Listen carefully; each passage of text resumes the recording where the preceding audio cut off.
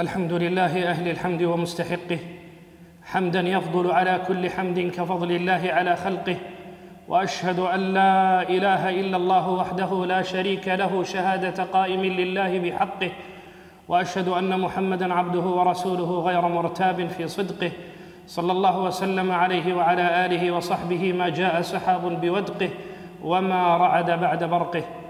أما بعد فاتقوا الله عباد الله حق التقوى واستمسكوا من الإسلام بالعروة الوثقى واتقوا أسباب سخط الجبار فإن أجسادكم على النار لا تقوى. إذا حججت أو اعتمرت وسعيت بين الصفا والمروة فإنك عند نزولك من الصفا متوجها إلى المروة ستجد أول باب عن يمينك باب الأرقم. في هذا الباب وعند الخروج منه كانت دار الأرقم بن أبي الأرقم. الدار التي احتضنت الإسلام ودعوة النبي صلى الله عليه وعلى آله وسلم في أول أمرها.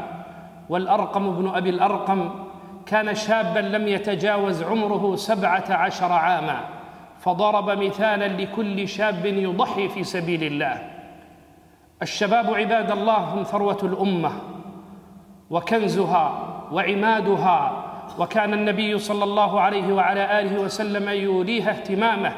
فعني بها عناية كبيرة. ولذلك يقول الله عز وجل في حق الشباب إنهم فتية آمنوا بربهم وزدناهم هدى وربطنا على قلوبهم.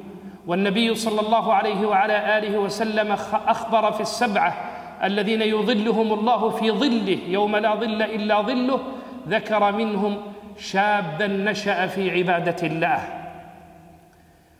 أول فدائي في الإسلام ضحى في سبيل نفسه هو علي بن أبي طالب رضي الله عنه يوم أن ضحى بنفسه دفاعا عن رسول الله صلى الله عليه وعلى آله وسلم يجود بالنفس إن ظن الكريم بها والجود بالنفس أقصى غاية الجود.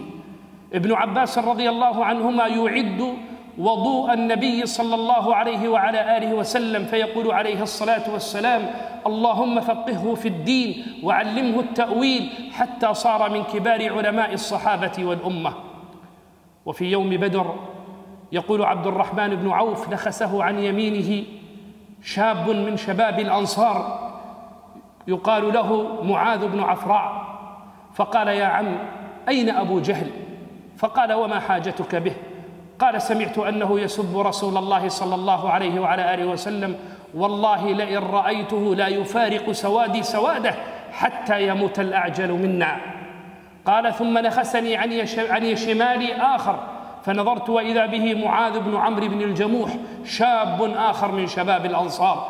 فقال مقالة صاحبه فلما رأيت أبا جهل قلت ذاك صاحبكم الذي تسالان عنه فانقض عليه كالصقرين حتى قتلاه. وفي يوم بني أمية أول من فتح بلاد السند محمد بن القاسم الثقفي شاب لم يتجاوز عمره ثمانية عشر عاما. وأول من فتح بلاد الأندلس طارق بن زياد شاب لم يتجاوز عمره عشرين عاما.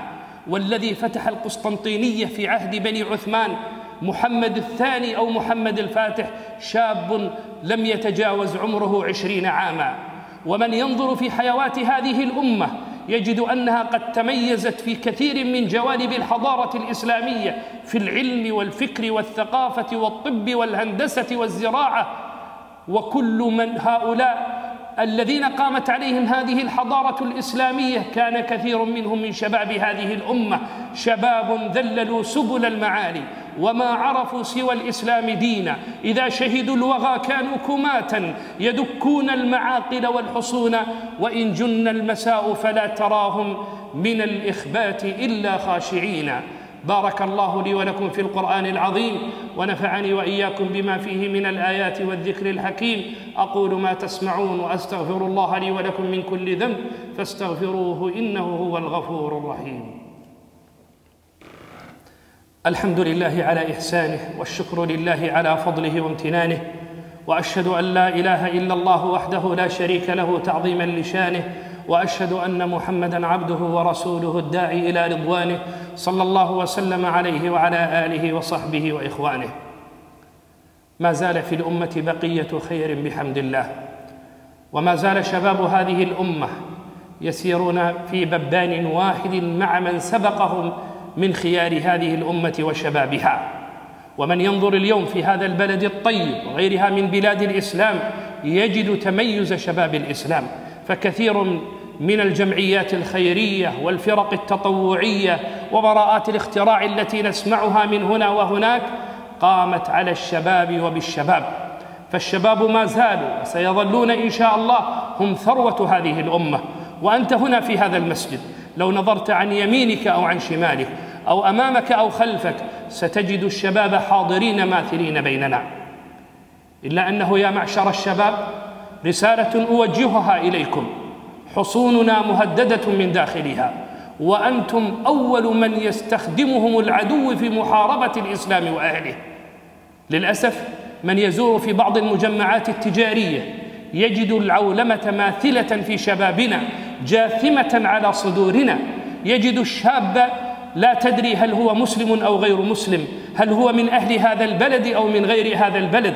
يلبس العقد على صدره والقرط في أذنيه والوشم على كتفيه ويسير بعيدا عن مظاهر الإسلام. وصدق النبي صلى الله عليه وعلى آله وسلم لتتبعن سنن من كان قبلكم حذو القذة بالقذة حتى لو دخلوا جحر ضب لو دخلتموه. أيها الشباب لقد كان من كان سبق لقد كان ممن كان سبقكم من آبائكم وأجدادكم لا ينظرون إلى الحرام فقط ويتركونه وإنما ينظرون إلى العيب فيتجنبونه فيتجنبون الحرام لأنه يؤثر في دينهم ويتجنبون العيب لأنه يؤثر في رجولتهم وعاداتهم وتقاليدهم. وأنتم ينبغي أن تسيروا على هذا الأمر حتى تبلغوا ما بلغه من من كان سبقكم من خيار هذه الأمة أو من صالح آبائكم وأجدادكم. اللهم حبب لشبابنا الإيمان وزينه في قلوبهم وكره إليهم الكفر والفسوق والعصيان واجعلهم من الراشدين. اللهم آت نفوسنا تقواها وزكها أنت خير من زكاها أنت وليها ومولاها. اللهم الطف بالمسلمين المستضعفين على كل حال وبلغهم من الفرج والخير والنصر منتهى الآمال. اللهم اجعل هذا البلد آمنا مطمئنا وسائر بلاد المسلمين. وفق ولاة أمرنا لما تحب وترضى. وارزقهم البر والتقوى. لا إله إلا أنت سبحانك إنا كنا من الظالمين. وصلى الله وسلم على نبينا محمد.